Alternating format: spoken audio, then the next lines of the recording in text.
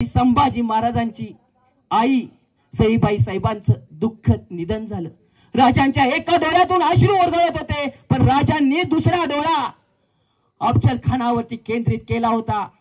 आपल्या पत्नीचं दुःख बाजूला सारलं. आपल्या पत्नीच्या निधनाची बातमी बाजूला सारली आणि आई तुळजाभवानीच्या साक्षीनं स्वतःच्या पराक्रमानं अफजलखानाच्या रक्तानं प्रतापगडाची पायरी धुतली. मित्रांनो शिवाजी महाराजांनी जर त्या ठिकाणी दुःख करत बसले असते तर आज तुमच्या आमच्या आयुष्यामध्ये सुखाचा दिवस उजाडला असता का? हा साधा प्रश्न स्वतःच्या मनाला विचारा. अरे शिवरायांवरती बोलल तेवढं कमी आहे. शिवरायांवरती सांगल तेवढं कमी आहे. पण शिवचरित्रातून नेमकं आम्ही काय घ्यायचंय हे स्वतःच्या मनाला प्रामाणिकपणे राहून खऱ्या अर्थानं आम्ही साधलं पाहिजे. आज शिवाजी महाराजांचं नाव घेतलं तर कोण म्हणतं छत्रपती शिवाजी महाराज मराठ्यांचे राजे? कोण म्हणतं शिवराय हिंदूंचे राजे? अरे जाती पातीच्या चौकटीमध्ये राजकर्त्यांनी आणि आम्ही शिवरायांना कैद करून ठेवलं. आज शिवरायांकडे बघताना आम्ही जातीच्या द्वेषातून बघतो. आज शिवचरित्राकडे बघताना अनेक जण धार्मिक आणि राजकारणाच्या चौकटीतून बघितलं जातं. आणि खऱ्या अर्थानं शिवराय तुम्हा आम्हाला प्रकाश देण्यामध्ये त्या ठिकाणी कमी पडतात. कारण का?